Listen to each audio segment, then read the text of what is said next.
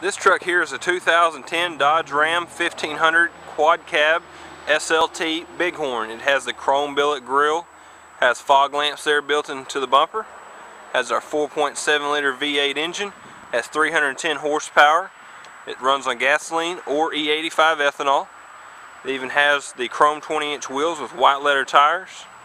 It's got the matching chrome door handles there. You'll also see inside that this truck has our center console with the two-tone interior, automatic headlamps, all your power convenience features, electronic vehicle information center controls there on the front of your steering wheel, steering wheel mounted audio controls on the back, premium CD player, satellite radio with a free year subscription, even has the air conditioning controls with a, uh, right there you have a built-in 115 volt power inverter, dual glove box, Lots of extra storage there in that center console. And if you look here in the back, you've got lots of rear seat legroom here. You've got a 60-40 split seat. You can fold up one side or both. You've actually got storage here underneath your seat.